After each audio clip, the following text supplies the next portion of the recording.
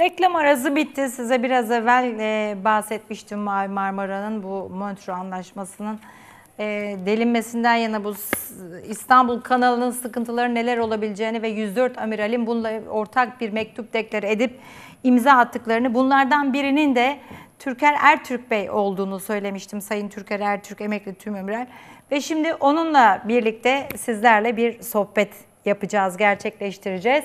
Yayına bağlandıysa günaydın Türker Bey.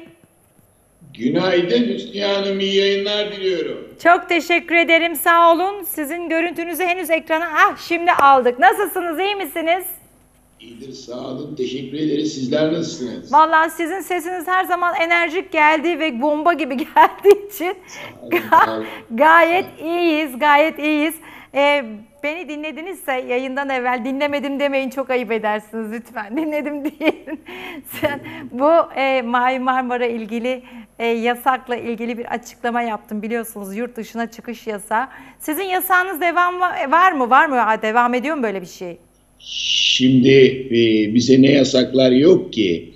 E, ilk başta biliyorsunuz e, 8 gün e, göz altında kaldık. Evet. Evimize evimize şafak baskını yapıldı.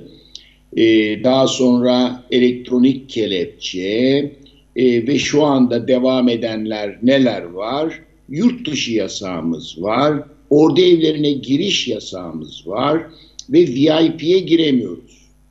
Şimdi geçen gün e, Afganistan'dan Taliban ekibi geldi. Ekibin yarısı terörist. Türkiye'nin kayıtlarına göre de terörist. Bakınız bu iktidar VIP'ye teröristleri sokuyor, güle oynaya ve basına bunu e, güle oynaya karşılamasının görüntülerini veriyor.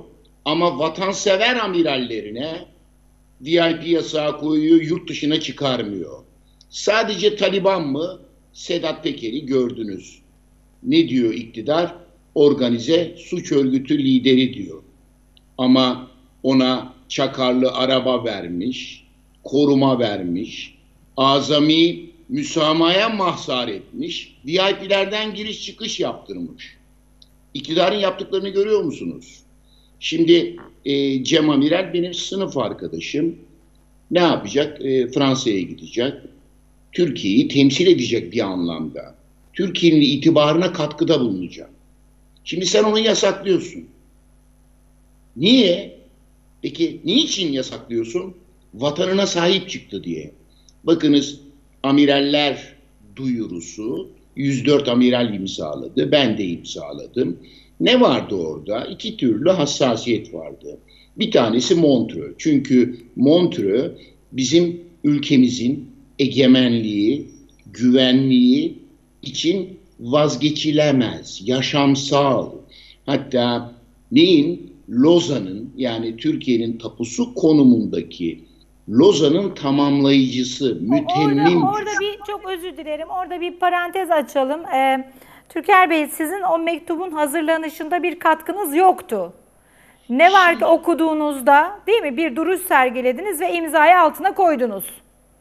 hiç e, bir katkım yoktu. Ama niçin yoktu? Zaten o günlerde başka işlerle uğraşıyordum. Evet. Zaten ben bu konuları yazıyorum ve ekranlarda anlatıyorum. Gördüm. Dedim ki katılıyorum ve imzalıyorum. Niçin 10 amiralin içinde ben de vardım? Bu iktidara muhalefet ettiğimiz için. Bu iktidar bugün emin olun Türkiye'nin sorunlarının en tepesinde var. Yani bu iktidar gitmeden ne ekonomik sorunumuz çözülür, ne adalet sorunumuz çözülür, ne de e, hukuk sorunumuz çözülür. E, ben bunu ifade ediyorum, anlatıyorum. Bunu anlatmak suç mu?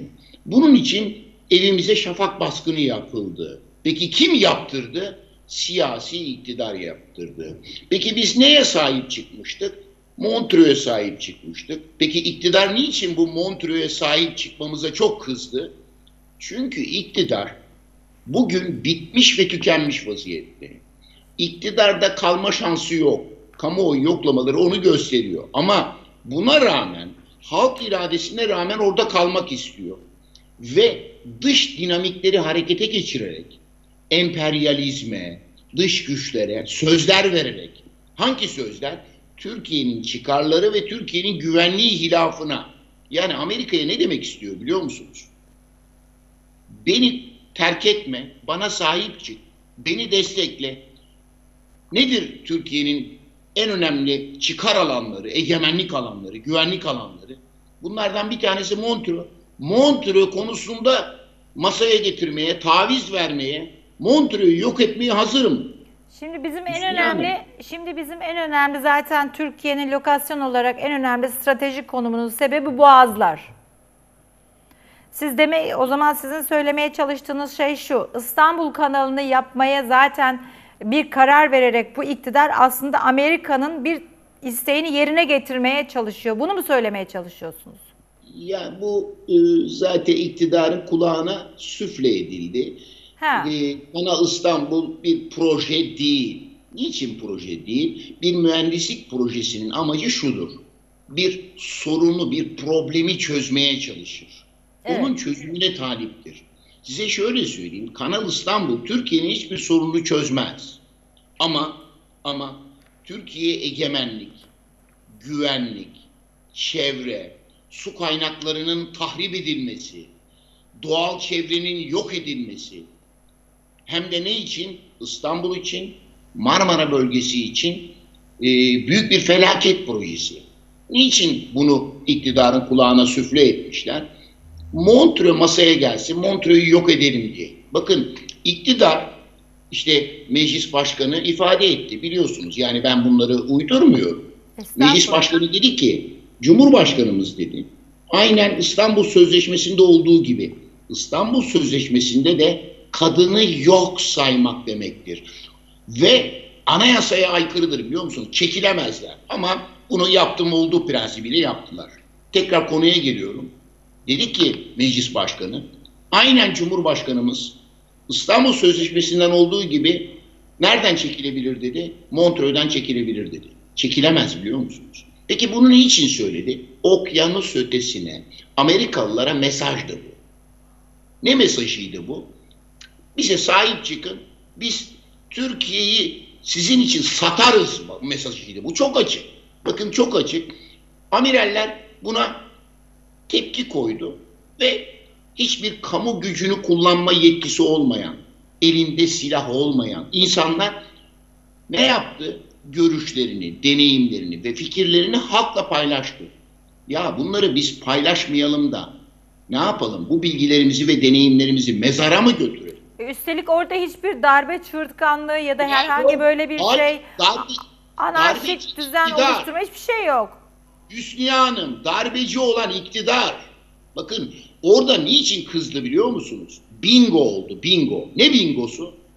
Montreux bingosu oldu. Yani Montreux konusunda söz veriyorsun ama senin içinden amiraller diyor ki hayır diyor. Buna çok kızdılar. Bakınız buna çok kızdılar ve gördüğünüz hukuk dışı, anayasa dışı e, eylemler yapıldı. Şimdi daha Bir sonra şey, bir şey soracağım burada Türker Bey. Ee, sizin o 104 amiralin imzaladığı mektubun içerisinde cümle olarak, eylem olarak yapılan bu deklarasyon diyelim. Deklarasyonda anayasanın sizlere verdiği hakların dışında hiç ufacık bir sapma satır arasında bile bir sapma var mıydı? yoktur. Bakınız emin olun Muz Cumhuriyeti'ne gidin. Muz Cumhuriyeti'nin hukuk sisteminde bile bu ne olabilir biliyor musunuz? Suç olamaz. Şimdi ama iktidarın korkusuna yargı böyle bir şeylere girişti. Ee, bu, bu, bu doğru değil ve bizi bir anlamda cezalandırıyor. Ya sen organize suç örgütleri cirit atıyor ülkede. Ülkede hırsızlık, yolsuzluk tavan olmuş. İşte e, gelişmeleri görüyorsunuz. Biraz sonra belki o konulara da gireceğiz. Tabii, tabii. Sen bunlar için bir şey yapmıyorsun ve bize baskın yapıyorsun. Şimdi iktidar, iktidar aynı zamanda okyanus ötesine kuvvetli bir mesaj veriyor. Mesaj şu. Ya beni satmayın. Bana yardım edin. Ben vatansever amirallerimi bile içeriye tıkarım. İçeriye de bir mesaj var mı bu konuda? Ya içeriye de şöyle. Bırakın ülkenin çıkarları, güvenliği benim işim. Sizin üstünüze vazife olmayan konularda fikir beyan etmeyin, muhalefet yapmayın. Ülkemizin satışına sessiz kalın demek istiyor. Ya size şöyle söyleyeyim Hüsniye Hanım. Ben bu ülkenin kuruluşunda Huvayi Milliye'de emeği olan bir ailenin çocuğuyum. İstiklal madalyalı bir dedenin torunuyum. Daha başka madalyalarım da var. Vatan evladı, bakınız vatan evladı altın şeref madalyam var. Vatan evladı. Ama vatan evlatlığıyla uzaktan yakından ilgisi olmayanlar bize operasyon yapıyor biliyor musunuz? Bunu halk duysun. Bunu halk duysun. Montreux bizim ülkemizin egemenliği için, çıkarları için, güvenliği için vazgeçilemez. Ben ben bu milletin kafasında tüy bitmemiş yetimin ve öksüzün hakkı ile okudum buralara geldim. Şimdi bunun karşılığını vermeyecek miyim? Eğer bir şey ülkemin zararınaysa, bilgim ve deneyimim de o konuda bir uzmanlık alanı yaratmışsa, bu konuyu halkla paylaşmayacak mıyım? He? Evet Tabii bu ki. iktidar paylaşmamızı istemiyor biliyor musunuz? Bakınız kurumlar felakete gidiyor. Size şöyle söyleyeyim. Daha geçen gün oldu. Massachusetts Teknoloji Enstitüsü öğretim üyesi. Bu toprakların çocuğu. Profesör Doktor Acemoğlu. Diyor ki hangi kurumsal endekse bakarsanız bakınız diyor. Türkiye özellikle son 15 sene içinde çok büyük bir gerileme yaşıyor diyor. Özellikle son 6 yıl diyor. Mali, Mali, Mali diye bir ülke var biliyorsun. Biliyorum, biliyorum, biliyorum. Ondan daha çok kurumsal kötüleşmeyi geçiren bir ülke diyor. Şimdi hukukun üstünlüğü Türkiye 117. biliyor musunuz? Bu kepazelik. Sorumlusu kim? Bu siyasi iktidar. Bakın ülkede adalet yok. Şimdi şimdi Acemoğlu niçin söylüyorum? Bir aralar hatırlarsınız. Acemoğlu'nun ekonominin başına getirilmesi Evet, söz evet, konusuydu. evet. Peki getirilse iyi olur muydu? Gerçekten iyi olurdu. Peki olabilir miydi? Olmazdı ki. Çünkü Acemoğlu gelince diyecek ki demokrasi, eşitlik, Indira Gandhi olmaz diyecek. Şimdi onun için istemediler son anda Acemoğlu. Çünkü hukukun olmadığı bir yerde bakınız Honda daha yeni tası tarağı topladı gitti. Opel gitti. Volkswagen yatırımdan vazgeçti. Bütün yabancı yatırımcılar çekiliyor. Peki sadece yabancılar mı? Size şöyle söyleyeyim. Türkiye'de para kazananlar bu. Bu vatanın evlatları bile ne yapıyor biliyor musunuz? Paralarını yurt dışına çıkarıyorlar. Niçin? Çünkü bu iktidardan korkuyorlar. Hatta size şöyle söyleyeyim. Bu iktidarın azami müsamahasına mahzar. Beş tane müteahhit var biliyorsunuz. Evet. Bunlar bile paralarını yurt dışına kaçırıyorlar biliyor musunuz? Bakın Evet. bunlar bile güvenmiyor. İsterseniz isim veririm. Nerede yatırım yaptıklarını söylerim. Offshore hesaplarını söylerim biliyor musunuz? Şimdi böyle bir ülkeye kimse yatırım yapmaz ki. Bakın bilmiyorum bugün sabah döviz piyasası ne oldu ama ben görmeden söyleyeyim. Kontrolden çıktı. Paramız pul oldu. Pul. Dolar dolar her gün kendi zirvesini kendisi yeniden kırıyor. Rekorunu Peki. kendisi kırıyor. Peki şöyle söyleyeyim. Bunun sorumlusu kim? Ee, ben dün videoyu verdim efendim. Ekonominin bu ülkeden ekonominin sorumlusu benim, ben diyen bir biliyorsunuz e, Ya- Cumhurbaşkanı var. Hüsniye Hanım, lüks, şatafat, soygun ekonomisi. Ya saray yaptırmak ne demek ya? Bugün 21. yüzyılda çağdaş bir ülkede saray yaptırılır mı? Mesela Almanya'da saray yaptırdıklarını gördünüz mü? İsveç'te. He? Amerika'da da olmaz. Bakınız bugün Avrupa'da gördüğünüz o saraylar ne biliyor musunuz? Orta çağdan. En kabadayısı 19. 20. yüzyıldan kalma. 21. yüzyılda saray yaptıran kimse yok. İtibar Devletin paralarını, kıt kaynaklarını israf edeceksin. Nerede israf edeceksin? Lükste, şatafatta, tahtaravan kullanırken. Ve ve Türkiye'nin çıkarlarıyla taban tabana çelişen coğrafyada emperyalist girişimler peşinde konuşacaksın. Nerede? Suriye'de. Nerede? Libya'da. E paralarımız buna gidiyor biliyor musunuz? Bu parayı tutamazsınız ki üretim yok. Maalesef. Dışarıdan dışarıdan döviz girmiyor. Bırakın Maalesef. dışarıdan döviz girmesine ülkedeki dövizler dışarıya kaçıyor. Hüsnü Hanım size şöyle söyleyeyim. Ben eskiden parasını dışarıdaki bankalara yatıranlara çok kızardım biliyor musunuz? Derdim ki bunlar hain ya. Ülkemizin de kazandıkları top, e, paraları niçin yabancı bankalara dışarıya İsviçre'ye getiriyorlar diyordu. Diyordum. Bugün demiyorum biliyor musunuz? Niye demiyorum biliyor musunuz? E çünkü ne olacak ki? Adam kendini güvenceli hissetmiyor ki. Yarın bir gün yarın bir gün size FETÖ'cü diye bir iftira atarlar esas FETÖ'cülerin kim olduğunu bildiğimiz için, bildiğimiz halde ve şirketinize el koyarlar. Kayyum atarlar, içini boşaltırlar. Adam diyor ki korkuyor, parasını dışarıya getiriyor. Emin olun haklı biliyor musunuz? Üzücü ama haklı.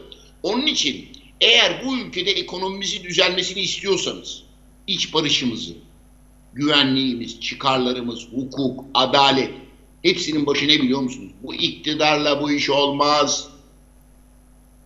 Peki e, bugün dün bir e, açıklama yapıldı biliyorsunuz. Sadece bu konu hakkında e, fikrinizi almak istiyorum. Yani nasıl bir açıklamadır? Nasıl talihsiz bir açıklamadır?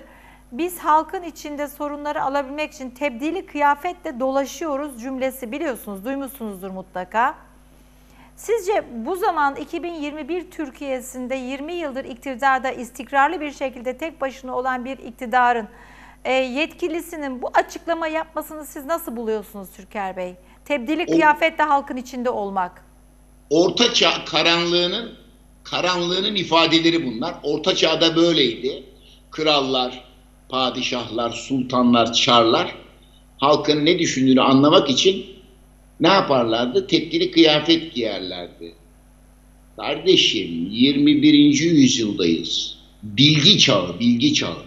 Bugün halkın ne düşündüğünü anlamak için çeşitli kriterler var. Kamuoyu yoklamaları var. Kamuoyu yoklamaları bu iktidara güvenmiyor.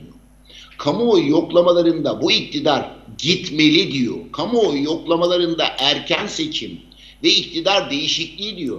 Ne tepkili kıyafeti Allah aşkına. Peki amaç bu mu? Şimdi şu var. Amaç acaba... Amaç amaç gitmemek. Bu Yo yo iktidar- amaç gitmemekten evet evet aslında aynı yere varacağız. Amaç aslında halkın sorunlarının ne olduğunu görüp yerinde tespit edip yukarıya bildirip çözüm üretmek mi yoksa anketlere ne kadar doğru yansıyor biz gidiyor muyuz endişesinin tespiti mi? bir tek endişe var. Bu iktidar hesap verebilir değil. Bakınız bu dönemde yapılan işlemlerin hepsinin hesabı sorulacak. Anayasa ihlalleri var. Kanunlar ihlal ediliyor. Hatta geçen gün Kılıçdaroğlu bir şeyler söylemiş. Bu konuyu ben e, epeydir söylüyorum. Bütün askerler, yargı mensupları, bürokratlar şunu bilmeli anayasamıza bağlı kalsınlar. Sadakat anayasaya olur. Anayasa dışı işler yapmasınlar. Kanunsuz işler yapmasınlar. İktidarın kanunsuzluklarına, anayasa ihlallerine ortak olmasınlar. Hesap veremezler. Zaten bu konuda e, anayasal e, nelerimiz var? Yaptırımlarımız var. Evet. Ee, Ben bunu anlatmaya çalışıyorum. Sanıyorum e, Kemal Bey de bunu anlatmaya çalışıyor. Bakın e, bu dönem bitiyor. Bu işin hesabı sorulacak. Yanlışlar yapmayın. Yani şimdi bakın bundan daha demokratik bir açıklama olabilir mi? Ne diyorum ben? Anayasaya bağlı kalın. Anayasal suçlar işlemeyin. Bu iktidarın operasyon silahı olmayın. Bakın operasyon soruyorum ya. Vatan, millet endişesinden başka endişesi olmayan 31 yıl bu vatana hizmet etmiş olup bir kuruş zimmetine geçirmemiş olan, hırsızlık yapmamış olan sen bu insanlara operasyon yapacaksın. He? Bunlara elektronik kelepçe taktırttıracaksın. Ondan sonra e, VIP yasağı, yurt dışı yasağı. Soruyorum ya Cem Gürdeniz yurt dışına gidince yurt dışına mı kaçacak? Yok. Senin, tabii. senin yakınların kaçıyor. Bakın senin yakınların kaçıyor. Hiçbirisi kaçmaz. Ama- Niçin veriyorsun? Niçin veriyorsun? ceza olsun diye. İktidar iktidar korkutuyor. Çünkü yargının üzerinde ağır bir vesayet var biliyor musunuz? Sizin hakkınızı bir konuda teslim etmek istiyorum. Aslında sizin hakkınızı teslim ederken haddim değil, yanlış anlamayın. Sadece dışarıdan bir gözlemle mutlaka sizin gibi mücadelesine devam öyle veya böyle devam edenler vardır. Tabii bizler şimdi dışarıdan izliyoruz. Ne oldu? Türker Ertürk 8 gün gözaltında kaldı. Türker Ertürk kelepçeli. Tabii bunların bir de incinmişliği, orada evlerine giremeyişiniz, VIP'lere alınmayışınız, elinizden alınan haklarınız, incinmişliği, kırılmışlığı, psikolojik yıkımı var bunların. Yani ne o ne kadar sağlam durursanız durun içinizde bir şeyler kırılıp dökülüyor. Tabii biz bunları hep es geçiyoruz, haber niyetinde okuyoruz. Ama siz ne olursa olsun, ne olursa olsun duruşunuzu zerre kadar bozmadan, gene vatanın, milletin doğru bildiğiniz, doğru bildiğiniz ne varsa bu konuda mücadelenize devam ettiniz. Etmeye de devam ediyorsunuz. İyi ki sizin gibi, iyi ki sizin gibi iradesinde, mücadelesinde inat ve ısrarla duran komutanlarımız var. Bunu da burada ben size bütün samimiyetimle söylemek ve dile getirmek istiyorum. Çünkü bana burada mesajlar geliyor. Binnur Güdücülerden, Orhan Beylerden isimler var okuyamıyorum. Hepsi size teşekkürlerini ve takdirlerini iletiyorlar. Üzerinde olsun, kalmasınsa iyi ki var diyorlar Türker Ertürk. Peki Türker Bey sınır dışına gidelim. Bu sınır dışı e, operasyonlarımız ne kadar sürecek? Bizim ne işimiz var oralarda? Daha ne kadar biz devam edeceğiz oralarda olmaya? Amacımız nedir? Bunu açıklar mısınız? Şimdi Hüsniye Hanım, 2011'de başladı Suriye'deki vekalet savaşı. Bunun yanlış olduğunu zamanında yazdık, çizdik, ekranlarda anlattık. Ama iktidar bu emperyalist projenin ateşine odun taşıdı. Özellikle Arap Baharı'nın kendisi için bir şans olduğunu sandı. Ee, ve bu işin e, peşine düştü.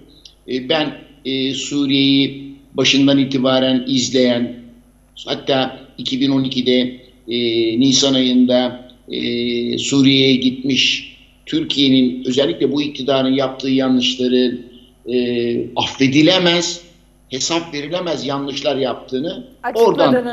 Oradan da açıkladım, Evet. yazdım da. Ama e, iktidar zaten biliyorsunuz Büyük Orta Doğu Projesi'nin eş başkanı olduğunu söyledi.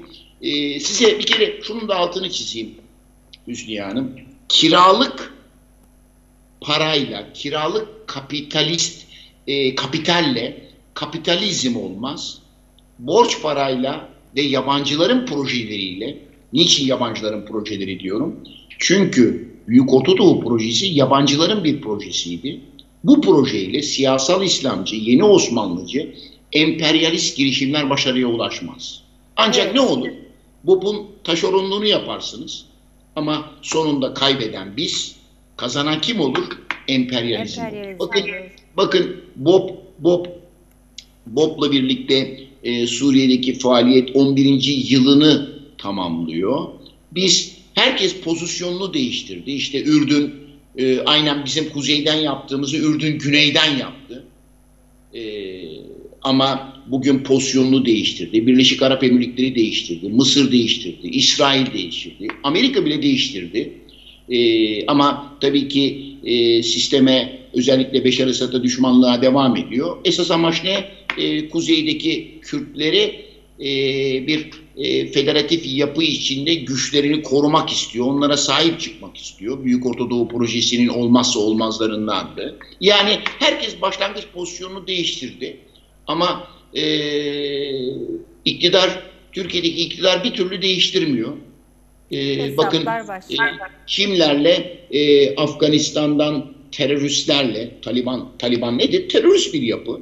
Evet. E, Taliban'la masaya oturuyor. Mısır'la ya- masaya oturuyor. Ama Beşar Esad'la masaya oturmuyor. Hala operasyona devam etmeye çalışıyor.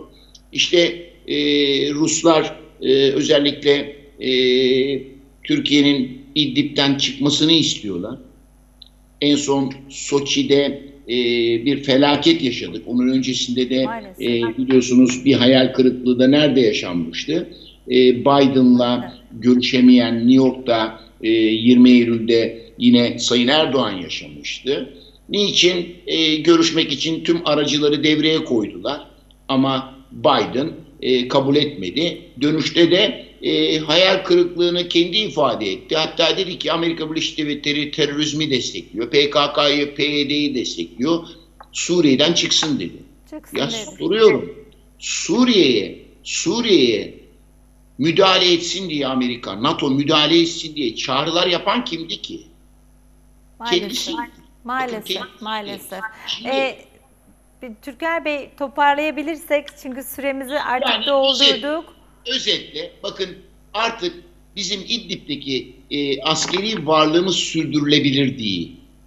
Devamlı şehit veriyoruz. Maalesef. Suriye, Suriye bizim çıkmamızı istiyor. Rusya istiyor. Arap Birliği bizi işgalci olarak görüyor. Ne yapmalıyız?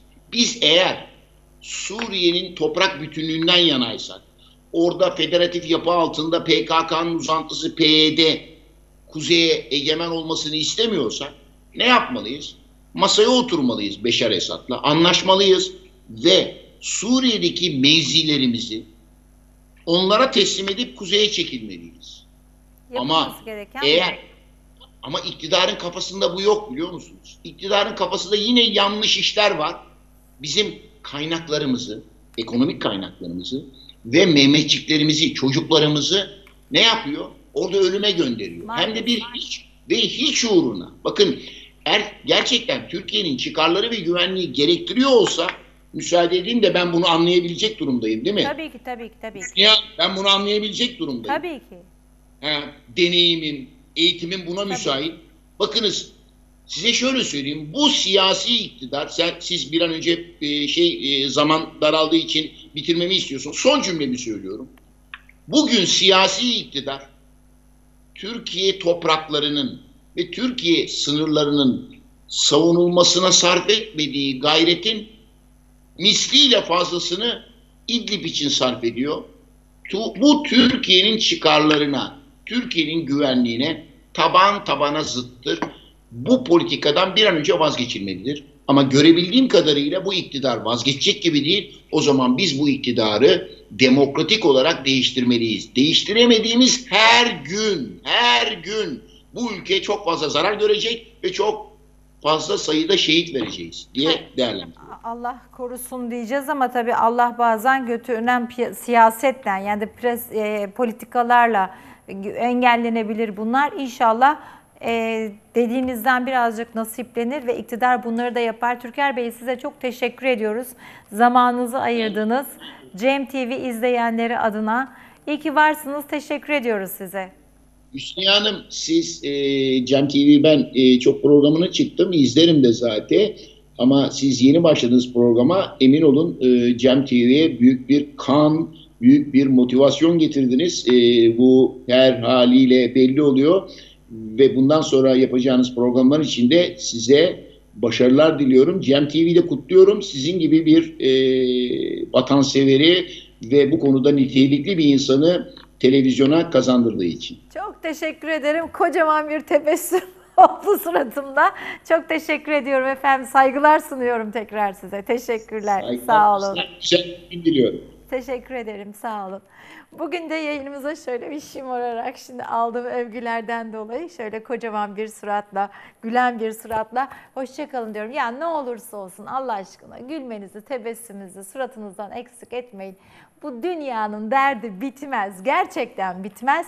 Hiç değilse biraz arsız tarafımıza verip ne olursa olsun şöyle 3-5 renk katmaya bakalım. Bugün de neyle veda ediyoruz Cem Adrian? E, Bana gelsin. Sarı gelin. Görüşmek üzere. Kendinize mökken bakın.